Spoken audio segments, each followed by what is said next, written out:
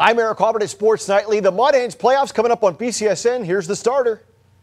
Yeah, I've, been in it, um, you know, once in college, once in pro ball as well, and uh, you know, it's a lot of fun. Guys get really excited. Uh, you know, we've all bought in towards it, so it's you know, it's a really really fun atmosphere to come to the park every day and experience that.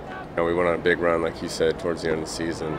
Um, started off really hot, kind of cooled down a little bit there in the middle, but we, uh, you know, really came together and turned it on towards the end you know, I think you can even break it down to, you know, hitting gets contagious, uh, you know, good pitching gets contagious, and you kind of just, kind of just build on that, you know, it kind of snowballs, and, uh, you know, obviously the results show we, you know, we won, I think, 12 out of 15 or something or less, 15 games, and uh, you know we just kept kept uh, staying on the grind and, and winning games. So I think that's something that we're, we're really excited for coming back here. Um, you know, getting getting in front of our, our home field or all of our fans, and uh, you know hopefully take the first two here.